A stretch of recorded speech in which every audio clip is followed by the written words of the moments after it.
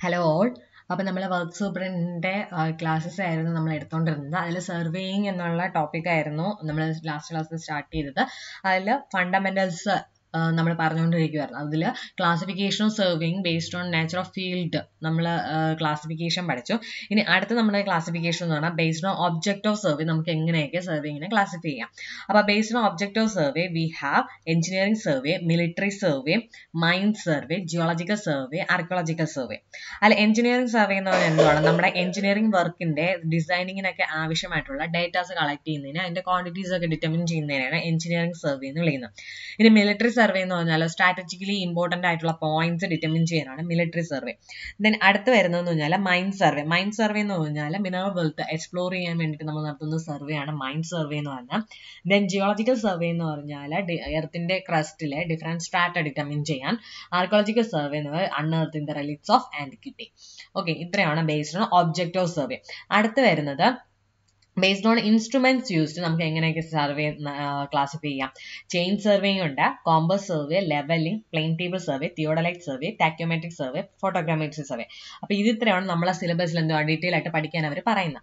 അപ്പോൾ ഇതിൽ നമ്മൾ ജസ്റ്റ് മെയിൻ ആയിട്ടുള്ള ഒരു പോയിന്റ് മാത്രമേ പഠിക്കുന്നുള്ളൂ. ഓക്കെ ചെയിൻ സർവേ എന്ന് പറഞ്ഞാൽ എന്താണ് അതിൽ നമ്മൾ ചെയിൻ അല്ലെങ്കിൽ ടാപ്പ് യൂസ് ചെയ്ത് only linear measurements are taken linear measurements മാത്രമേ നമ്മൾ എന്ത് ചെയ്യുന്നുള്ളൂ?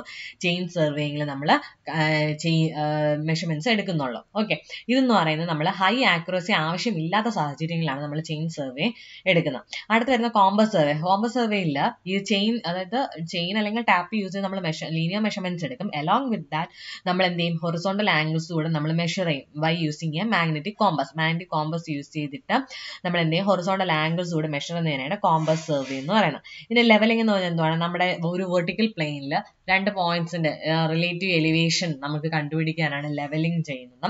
ദെൻ പ്ലെയിൻ ടേബിൾ സർവേയിന്റെ ഒരു വലിയൊരു പ്രത്യേകത എന്ന് പറയുന്നത് അതിന്റെ മെഷർമെന്റും പ്ലോട്ടിങ്ങും നമ്മൾ സൈമിൾട്ടേനിയസ്ലി ഫീൽഡിൽ തന്നെ ചെയ്യും. അതിൽ ഓഫീസ് വർക്ക് എന്ന് പറയുന്നത് വളരെ കുറവായിരിക്കും.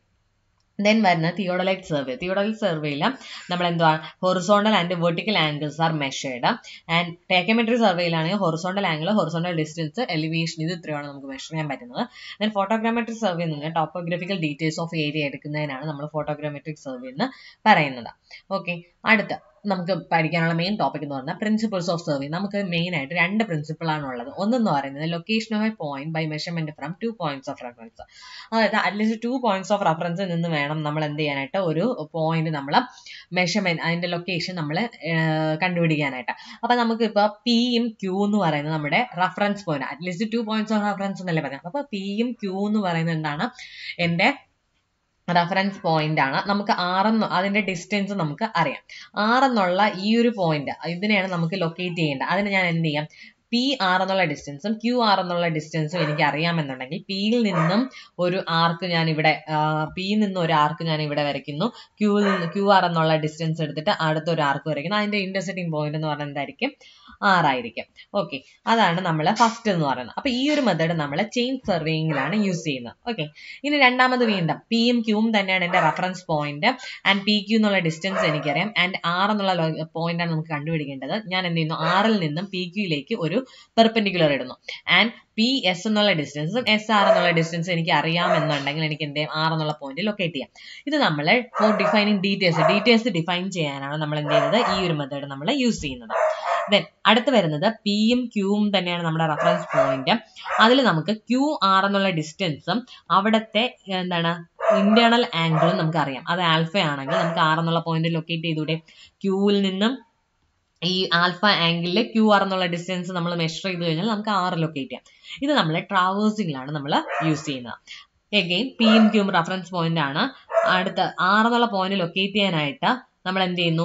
ഈ ആംഗിൾസ് മാത്രം മെഷർ ചെയ്യുന്നു. അതായത് ഇവിടത്തെ ഈ ആംഗിളും ഇവിടത്തെ ആംഗിളും നമ്മൾ മെഷർ ചെയ്യുന്നു. അങ്ങനെയാണെങ്കിൽ ആ രണ്ട് ആംഗിൾസും മെഷർ ചെയ്തിട്ട് നമ്മൾ ഒരു ലൈൻ വരച്ചു കഴിഞ്ഞാൽ അതെന്ന് പറഞ്ഞാൽ ഇങ്ങനെ ലെങ്തി ആയിട്ട് പോകും അതിന്റെ രണ്ടിന് ഇന്റർസെക്റ്റിംഗ് പോയിന്റ് എന്തായിരിക്കും? ആറായിരിക്കും ദെൻ ഇതെന്ന് പറഞ്ഞാൽ നമ്മൾ ട്രയാങ്കുലേഷനിലാണ് നമ്മൾ യൂസ് ചെയ്യുന്നത് എഗെയിൻ പി ക്യു എന്നുള്ള റെഫറൻസ് പോയിന്റ് ആർ എന്നുള്ള പോയിന്റ് ലൊക്കേറ്റ് ചെയ്യാനായിട്ട് നമ്മൾ പി ആർ എന്നുള്ള ഡിസ്റ്റൻസ് മെഷർ ചെയ്യുന്നു.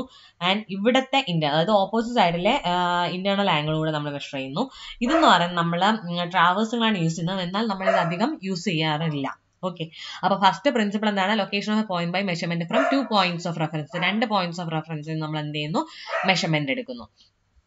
ദെൻ അടുത്ത് വരുന്നതാണ് working from whole to part working from whole to part എന്ന് പറഞ്ഞാൽ സപ്പോസ് എനിക്ക് ഈ ഒരു പ്ലോട്ടാണ് എനിക്ക് എന്ത് ചെയ്യേണ്ടത്? സർവേ ചെയ്യേണ്ടത്. ഞാനിപ്പോൾ ചെയ്യുവാണ് ഇവിടെ ഒരു കോളം ഉണ്ട് ഈ കോളം എന്ന് പറയുന്നത് ഞാൻ ഇവിടെ നിന്ന് ഇത്ര ഡിസ്റ്റൻസ് അകലെയാണെന്ന് മനസ്സിലാക്കിയിട്ട് അവിടെ ഞാൻ എന്ത് ചെയ്തു? ഒരു കോളം ഫിക്സ് ചെയ്തു. ആൻഡ് ഇവിടെ ഈ നാല് കോളംസും ഫിക്സ് ചെയ്തതിന് ശേഷം ഇതിന് ഇടയ്ക്കുള്ള ഇന്റർമീഡിയറ്റ് കോളംസ് ഞാൻ എന്ത് ചെയ്യുന്നു? ലെസ് ആക്യുറേറ്റ് ആയിട്ട് ഫിക്സ് ചെയ്യുകയാണ്. ഓക്കെ സെന്റർ ടു ഇതിന്റെ സെന്റർ ഇതിന് രണ്ടിനും സെന്ററിൽ വരുന്ന രീതിയിലാണ് ഈ ഒരു കോളം ഞാൻ ഫിക്സ് ചെയ്തത്. അപ്പോൾ ഇങ്ങനെ ചെയ്യുമ്പോൾ ഉള്ള ഗുണം എന്താണ്? ഇതെന്ന് പറഞ്ഞാൽ ഹോൾ ടു പടാണ് അതായത് ആദ്യം നമ്മൾ പുറത്തെ ബൗണ്ടറിയിലുള്ള പോയിന്റ്സ് ആദ്യം ലൊക്കേറ്റ് ചെയ്തു. ഫ്രം ദാറ്റ് നമ്മൾ എന്ത് ചെയ്യുന്നു? അതിനകത്തുള്ള സർവേ എന്താണ്? നമുക്ക് ആവശ്യം അതായത് ഈ ഒരു ബൗണ്ടറിയിലെ പോയിന്റ്സ് മെയിൻ സ്റ്റേഷൻസ് ആദ്യം നമ്മൾ ഹൈ പ്രിസിഷനിൽ ലൊക്കേറ്റ് ചെയ്യുക. ഫ്രം ദാറ്റ് നമ്മൾ minor control points are located by using less less precise method okay അപ്പൊ ഇനി ഞാൻ സപ്പോസ് ഞാൻ ഈ അകത്തെ ഈ ഒരു ഇതൊക്കെയാണ് ആദ്യം ഫിക്സ് ചെയ്യുന്നതെങ്കിൽ എന്താണ് സംഭവിക്കുന്നത് വെച്ചാൽ അതായത് നമ്മുടെ പ്ലോട്ട് എന്ന് പറയുന്ന ഇതാണ്.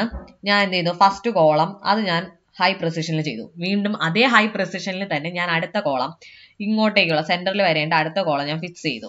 ഓക്കെ അടുത്ത് വീണ്ടും അടുത്ത ഈ ഒരു ഡിസ്റ്റൻസ് മെഷർ ചെയ്തിട്ട് അടുത്ത കോളം ഞാൻ ഫിക്സ് ചെയ്തു. അങ്ങനെ വന്നപ്പോൾ എന്ത് പറ്റി? എന്റെ ഈ മൂന്നാമത്തെ കോളം ഈ ബൗണ്ടറിക്ക് വെളിയിലായിപ്പോയി അതെന്തുകൊണ്ടാണ്? എറർ കാരണമാണ്. ഓക്കെ അപ്പൊ ഇത് കുറയ്ക്കാനാണ് നമ്മൾ എന്ത് ചെയ്യുന്നത്? എപ്പോഴും working from whole to part ചെയ്യുന്നത്. അതായത് പുറത്തെ ബൗണ്ടറി ഭാഗങ്ങൾ ആദ്യം ഫിക്സ് ചെയ്യുന്നു. എന്നിട്ട് എന്ത് ചെയ്യുന്നു? അകത്തെ കൺട്രോൾ പോയിന്റ്സ് ഒക്കെ നമ്മൾ ഫിക്സ് ചെയ്യുന്നു. അപ്പൊ ഇത് എന്തിനാണ് ചെയ്യുന്നത്? To prevent accumulation of error error accumulation കുറയ്ക്കും. അതുപോലെ തന്നെ to control and localise minor errors okay ഇനി നമ്മൾ പ്ലാൻ എന്ന് പറഞ്ഞാൽ എന്തുവാണ്? ഇതെന്ന് പറഞ്ഞാൽ പ്ലാൻ എന്ന് പറഞ്ഞാൽ ഒരു ഗ്രാഫിക്കൽ റെപ്രസെന്റേഷൻ ആണ്. അതായത് എർത്തിന്റെ ബിലോ ആയിട്ടും അല്ലെങ്കിൽ ബർത്തിന്റെ എർത്തിന്റെ സർഫസിലുള്ളതോ അല്ലെങ്കിൽ എർത്തിന്റെ മുകളിലുള്ളതോ ആയിട്ടുള്ള ഫീച്ചേഴ്സിനെ എന്നീ ഗ്രാഫിക്കലി റെപ്രസെന്റ് ചെയ്യുന്ന എ ഹൊറിസോണ്ടൽ പ്ലെയിൻ ഇനി പ്ലാന് മാപ്പും ഇത് തന്നെയാണ്. പ്ലാൻ എന്ന് പറയുമ്പോഴത്തേക്ക് നമ്മൾ ലാർജ് സ്കെയിൽ റെപ്രസെന്റേഷൻ ആണ്. മാപ്പ് എന്ന് പറയുന്നത് സ്മോൾ സ്കെയിൽ റെപ്രസെന്റേഷൻ ആണ്. ഓക്കെ ദെൻ സ്കെയിൽ അപ്പൊ നമ്മൾ സ്കെയിൽ എന്താന്ന് പഠിക്കണം. സ്കെയിൽ എന്ന് പറഞ്ഞാൽ എന്താണ്? Fixed ratio that every distance on the plan bears with corresponding distance on the ground അതായത് ഞാനിപ്പോ ഗ്രൗണ്ടിൽ ഒരു വൺ കിലോമീറ്റർ ഞാൻ എന്ത് ചെയ്യുന്നു? എന്റെ ആ ഒരു പ്ലാനിൽ വൺ സെന്റിമീറ്റർ ആയിട്ട് ഞാൻ റെപ്രസെന്റ് ചെയ്യുന്നു. അങ്ങനെയാണെങ്കിൽ എന്റെ സ്കെയിൽ എത്രയാണ്? One centimetre equal to one kilometre ഇതാണ് എന്റെ പ്ലാൻ സോറി ഇതാണ് എന്റെ സ്കെയിൽ അപ്പൊ ഇത് നമുക്ക് എങ്ങനെ സ്കെയിലിനെ റെപ്രസെന്റ് ചെയ്യാം? നമുക്ക് എഞ്ചിനീയർ സ്കെയിൽ ഉണ്ട്. എഞ്ചിനീയർ സ്കെയിൽ എന്ന് പറഞ്ഞാൽ എന്തുവാണ്? എഞ്ചിനീയർ സ്കെയിൽ എന്ന് പറഞ്ഞാൽ ഈ വൺ സെന്റിമീറ്റർ ഞാനിപ്പോ പറഞ്ഞേനെ. വൺ സെന്റിമീറ്റർ എന്ന് പറയുന്നത് വൺ കിലോമീറ്ററിന് ഈക്വൽ ആണെന്ന് നമ്മൾ പറഞ്ഞില്ലേ? അപ്പൊ ഇതെന്ന് പറയുന്നതാണ് ഞാൻ എഞ്ചിനീയർ സ്കെയിലിന് അതായത് ഇതെന്ന് പറയുന്നത് എന്താണ്? പ്ലാനിലുള്ളതാണ് പ്ലാനിലുള്ള ഒരു വൺ സെന്റിമീറ്റർ എന്ന് പറഞ്ഞാൽ ഗ്രൗണ്ടിൽ വൺ കിലോമീറ്ററിന് കറസ്പോണ്ടിങ് ആയിട്ട് റെപ്രസെന്റ് ചെയ്യുന്നു. ഇതിനെയാണ് എന്ന് വിളിക്കുന്നത്? എഞ്ചിനീയർ സ്കെയിൽ എന്ന്. ഇനി റെപ്രസെന്റേറ്റീവ് ഫ്രാക്ഷൻ എന്ന് പറഞ്ഞാൽ എന്താണ്?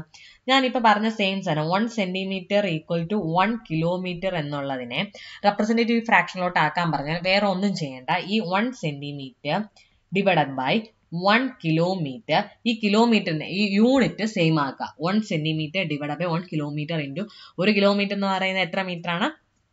തൗസൻഡ് മീറ്റർ ആണ്. ആൻഡ് വൺ മീറ്റർ എന്ന് പറയുന്നത് ഹൺഡ്രഡ് സെന്റിമീറ്റർ ആണ്. സോ ഇത്രയും ചെയ്യുമ്പോൾ one divided by ten raise to five എന്ന് കിട്ടും. ഇതാണ് ഇതിന്റെ റെപ്രസെന്റേറ്റീവ് ഫ്രാക്ഷൻ നമ്മൾ പി എസ് സിക്ക് ഒക്കെ മിക്കവാറും ചോദിക്കുന്ന ഒരു ടോപ്പിക്കാണ് ഇത് റെപ്രസെന്റേറ്റീവ് ഫ്രാക്ഷനോട്ട് കൺവേർട്ട് ചെയ്യാനായിട്ട്. അപ്പോൾ എന്ത് ചെയ്യണം? റെപ്രസെന്റേറ്റീവ് ഫ്രാക്ഷനോട്ട് കൺവേർട്ട് ചെയ്യാനായിട്ട് നമ്മൾ മുകളിലും താഴെയും സെയിം യൂണിറ്റിലാക്കുക ഗ്രൗണ്ടിലെ വൺ കിലോമീറ്ററിനെ നമ്മുടെ എന്താണ് പ്ലാനിലെ വൺ സെന്റിമീറ്റർ ആണ് റെപ്രസെന്റ് ചെയ്യുന്നതെങ്കിൽ ദെൻ ദിസ് പ്ലാൻ നമ്മളെപ്പോഴും സ്കെയിൽ എന്ന് പറഞ്ഞാൽ എന്താണ് പ്ലാനിലെ distance divided by corresponding distance on the ground ആണ്. സോ പ്ലാനിൽ one centimetre divide by corresponding distance on the ground എത്ര വൺ കിലോമീറ്റർ ആണ്. പക്ഷെ അത് നമ്മൾ റെപ്രസെന്റേറ്റീവ് ഫ്രാക്ഷനിൽ വരുമ്പോൾ എന്ത് ചെയ്യണം? യൂണിറ്റ് സെയിം ആക്കണം. ഓക്കെ അപ്പൊ ഇങ്ങനെയാണ് എന്ത് ചെയ്യുന്നത്? നമ്മൾ റെപ്രസെന്റേറ്റീവ് ഫ്രാക്ഷനിലേക്ക് കൺവേർട്ട് ചെയ്യുന്നത്. ഇനി എഞ്ചിനീയർ സ്കെയിലിനെ റെപ്രസെന്റേറ്റീവ് ഫ്രാക്ഷനെ ഒരുമിച്ച് നമുക്ക് ന്യൂമറിക്കൽ സ്കെയിൽ എന്ന് പറയാം.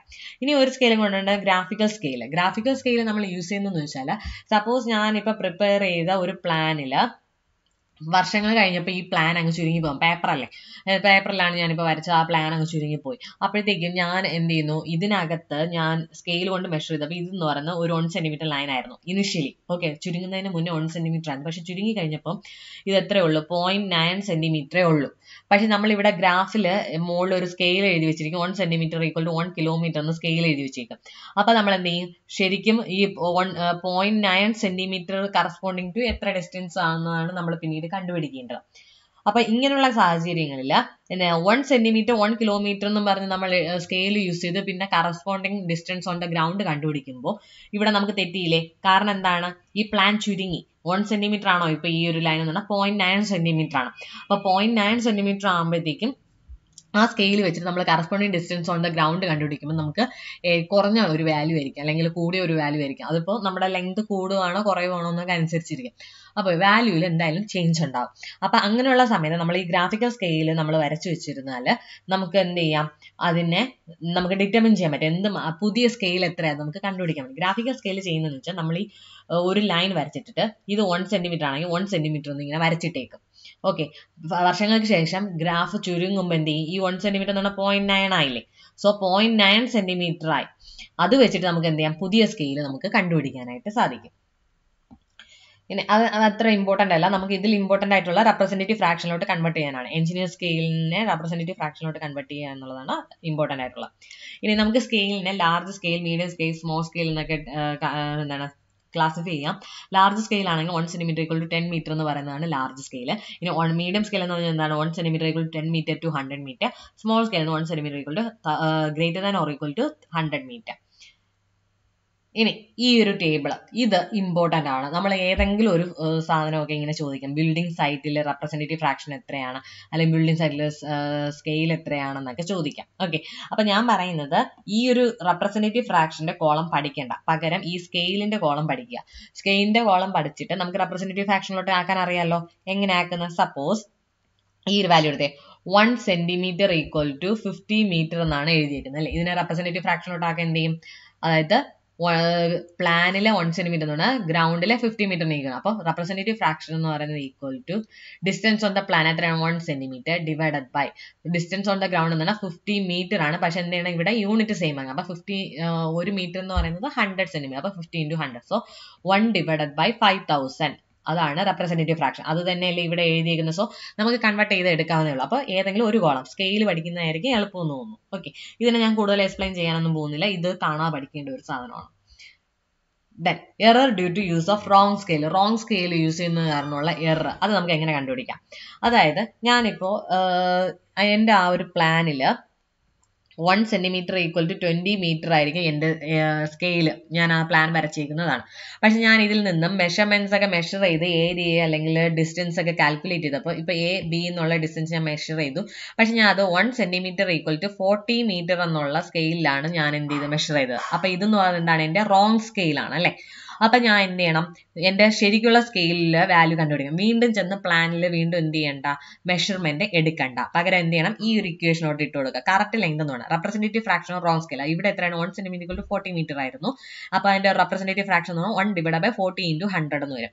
Divide by representative fraction correct scale one centimetre twenty metre ആയിരുന്നു. ഇന്റു മെഷേർഡ് ലെങ്ത് ഇവിടെ നിന്ന് എനിക്കിപ്പോൾ മെഷർ ചെയ്ത് കിട്ടിയ ലെങ്ത് എന്ന് പറഞ്ഞാൽ സേ ഒരു ടു ഹൺഡ്രഡ് മീറ്റർ ആണ് എനിക്ക് കിട്ടിയെങ്കിൽ ഇത് ഇത്രയും ഇതിൽ ഇൻപുട്ട് ചെയ്യുമ്പോഴത്തേക്കും നമുക്ക് കറക്റ്റ് ലെങ്ത് എത്രയാണെന്ന് നമുക്ക് കിട്ടും. ഓക്കെ ദെൻ അടുത്ത് കറക്റ്റ് ഏരിയ ഞാനിപ്പോൾ ആ ഒരു പ്ലാനിൽ നിന്നും ഏരിയയാണ് മെഷർ ചെയ്ത് എടുത്തതെങ്കിൽ വേറെ ഒന്നുമില്ല. ഈ ഒരു ഇക്വേഷൻ തന്നെയാണ് അതിൽ എന്ത് ഈ റെപ്രസെന്റേറ്റീവ് ഫ്രാക്ഷന്റെ ആ സാധനത്തിന് എന്ത് ചെയ്യണം? സ്ക്വയർ ചെയ്യണം. ഇന്റു കാൽക്കുലേറ്റഡ് ഏരിയ എത്രയാണോ അത് കൊടുക്കുക. അപ്പൊ നമുക്ക് എന്ത് കിട്ടും? കറക്റ്റഡ് ഏരിയ കിട്ടും.